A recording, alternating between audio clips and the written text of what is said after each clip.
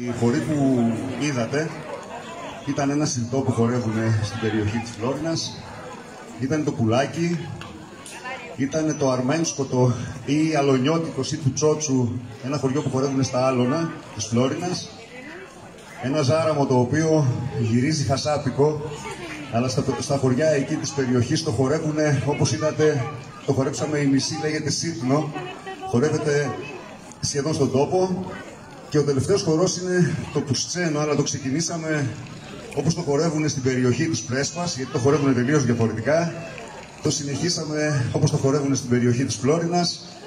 Το γυρίσαμε σε αμολυτή γκάιντα αυτό το μπρος πίσω έτσι, που πηγαίνουν οι χορευτές και με αυτό κλείσαμε. Ευχαριστούμε πολύ.